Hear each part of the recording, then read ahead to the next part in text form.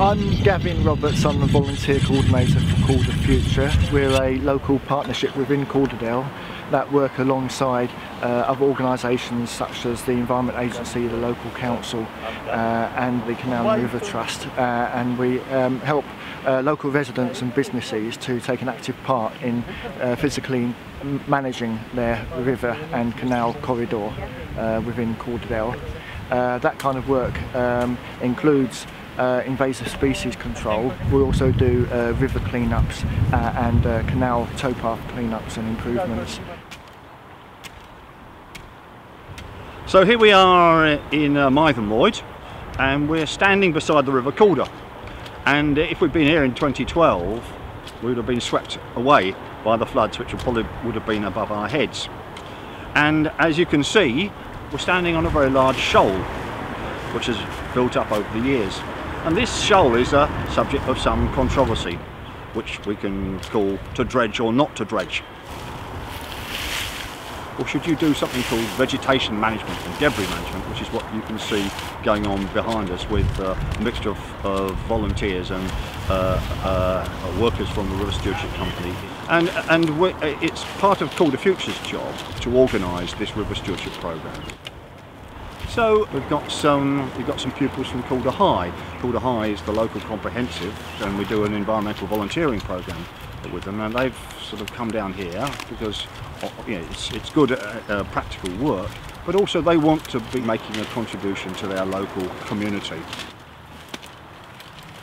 I'm Giles Stevenson, I'm head of sixth form at Calder High School and uh, we've come down today to help with the clearing of this site uh, for all the floods that we had in the last couple of years and obviously it's our local community so we thought we'd come down and give a hand. When we had that, the massive floods they uh, completely wiped out Hebden Bridge. Uh, we were on a school trip weren't we? Yeah we were on a we school trip at the time uh, going to Lightwater Valley uh, when we got the news that Hebden Bridge and like Mytholmroyd and local area was uh, flooded. Local people are only going to be convinced by something that tells them something about their particular circumstances.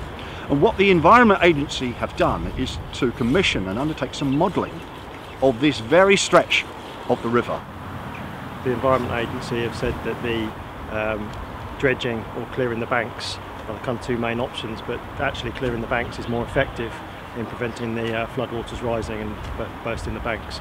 Um, in the next few weeks, we're hoping that they're going to come in with the model that they've got to show us actually how that actually works, and they're going to come into our school and part of our enrichment um, all of our students will get to see and talk to them um, about the impact it has on our local stretch of river. So, the, the theory and the practice uh, of what we've done here today, which is sort of river stewardship it's called, and it's about vegetation management and debris management, is that uh, before we reach this stage, this area here was covered with brambles. Rather like those brambles over there, we've left them there so as to provide an essential habitat for birds uh, and, uh, and other little creatures. So once we've, uh, cleared away the brambles, what you get down to next is this layer of brash, which is last year's uh, uh, dieback from the Himalayan balsam. If left here, what this would do, it would slow down the flow and allow it to build up. And the and the capacity of the channel here will be reduced. Now what the Environment Agency modelling it sort of demonstrates that it's more effective than dredging. And of course it's also cheaper to do than the expensive and difficult task of bringing in diggers here and uh, trying to dig out the shoals. And you'll only have to do that again and again that's the that's the theory and, and we've, we've had a good day today. Cleared about 50 meters or so a little bit more of the channel. We can come back on regular weekend sessions or weekday sessions.